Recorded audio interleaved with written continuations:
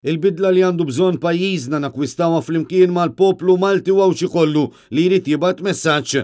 Hekk sostna l-Kap tal-Partit Nazzjonalista Bernard Grech waqt intervista matul il-programm speċjali fuq Net Television u Net FM f'għeluq it-88 sena ta' Eddie Fenech Adami Bernard Grech insista li l-eks Kap tal-Partit Nazzjonalista u eks Prim Ministru ta' Malta kien mingħajr l-ebda dubju il-bniedem li ta d-dinjità liċ-ċittadini Maltin u Għawdxin sabiex jesprimu ruħhom u jiksbu s-suċċessi bil-ħila tagħhom u saħaq li llum ninsabu fi proċess biex niksbu lura d-demokrazija u r-reputazzjoni ta' pajjiżna iżda dan ċertament ma jistax iseħħ mingħajr il-ħtieġa taċ-ċittadin. Ħa nkunu hemm.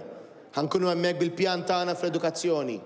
Bil-pjan tagħna għall-ekonomija, bil-pjan tagħna għall-qasam marittimu, fil-pjan tagħna għall-qasam tat-trasport, bil-pjan tagħna għal kull settur, għaliex dan il-partit ilu jisma' lin-nies, ilu jisma' lill-esperti, ilu jikkonsulta, ilu jiddjaloga, U issa huwa ppreparat biex jingħata l-fiduċja ħalli jkun jista' lil dan il-pajjiż imexxih 'il quddiem. Bernard Grech sostna li l-Maltin u l-Għawdxin kollha ma jistgħux jibqgħu jsofru l-konsegwenzi ta' dawk li żbaljaw fil-kurituri ta' Kastilja u issa bil-grey list qed ibatu filwaqt li min verament ħaqqu riperkussjonijiet qed jaħrab mill-ġustizzja.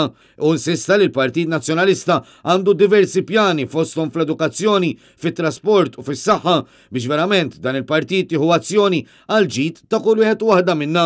Għandna bżonn bidla wkoll. Ħalli min qiegħed fin-negozju, aħna rriduh jimxi 'l quddiem.